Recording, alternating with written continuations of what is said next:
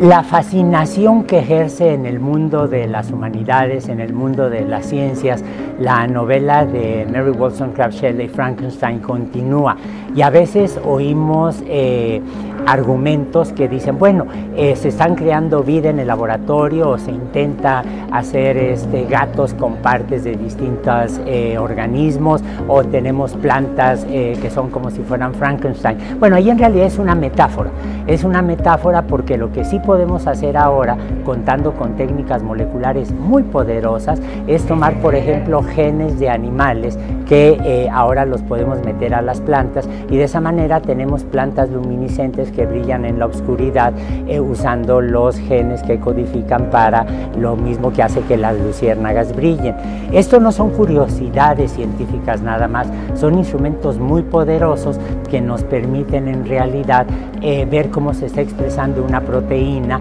y tenemos modelos biológicos espléndidos como ratones transgénicos que en realidad tienen, por ejemplo, todas las secuencias de DNA de un aparato inmunológico humano para estudiar los efectos que tienen sobre un mamífero, eh, parásitos, medicamentos, etc. Esto nos permite, por ejemplo, experimentar con animales en condiciones que tratan de proteger la integridad del animal, evitar lastimarlo, etcétera, pero que son experimentos que no podríamos hacer ciertamente con humanos. Hay principios éticos poderosísimos que todos